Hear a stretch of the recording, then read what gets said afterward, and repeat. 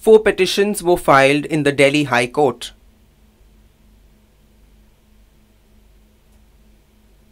On 7th April, Justice Pratibha M. Singh reviewed the petitions.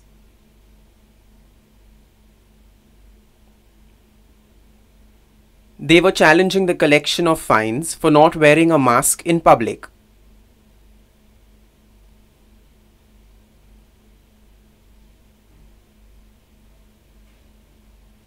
Singh dismissed all the petitions.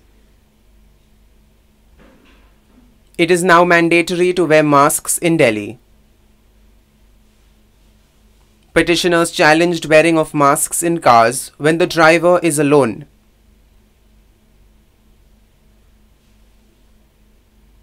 The court said, just like masks are mandatory in public places, it will be mandatory in cars even if the person is alone. The judge said, when a person is alone in the car and stops at a red light,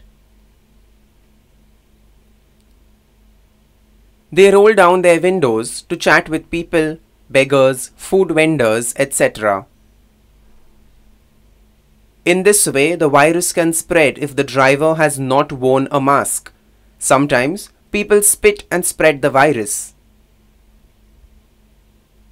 This is why it is best to wear a mask. The judge dismissed the petitions. The court even rebuked the lawyers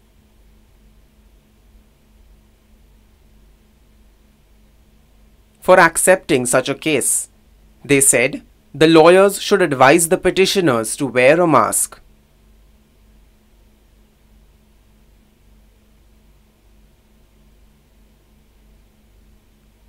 It said, if lawyers do this, then people will follow their example. This will keep Delhi safe and contain the cases.